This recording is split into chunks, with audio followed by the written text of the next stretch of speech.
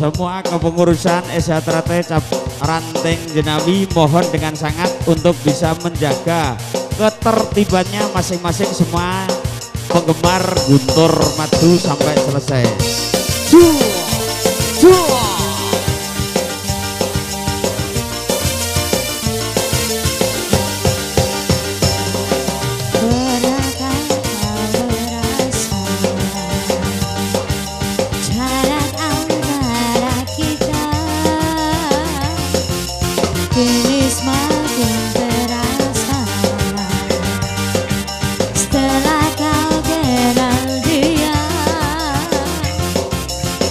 udah